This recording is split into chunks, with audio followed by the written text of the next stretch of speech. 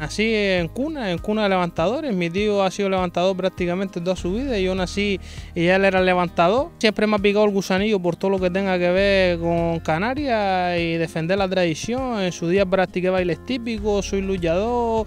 Me aficioné por el levantamiento de la piedra también y aquí estamos. Y mientras el cuerpo me lo permita, aquí seguimos en la lucha.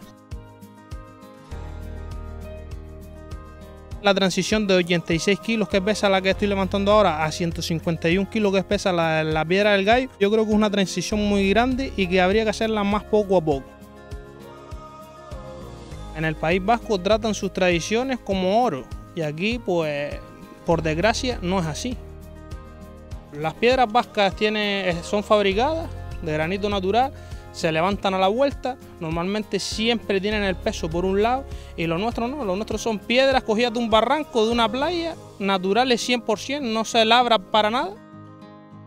Al cabildo le pediría que, pues, que nos den más vista, que nos den, que nos divulguen más, que nos inviten a más sitios. Nosotros yo creo que los deportes tradicionales somos el que menos vista tiene y el que menos la gente conoce. Nunca dejo de indagar y explicarle todo lo que yo sé a, lo largo de los 32 años que llevo levantando piedra a quien quiera, sea mayor, sea menor, sea niño, a quien quiera. Tengo toda la confianza puesta en mi sobrino. Te asustaría lo que se puede conseguir en un mínimo tiempo, siendo constante, con un buen entrenamiento, un buen precalentamiento, un buen estiramiento después de levantar, simplemente para evitar lesiones y para coger más fondo. Gracias a él espero que se mantenga, pero necesitamos más.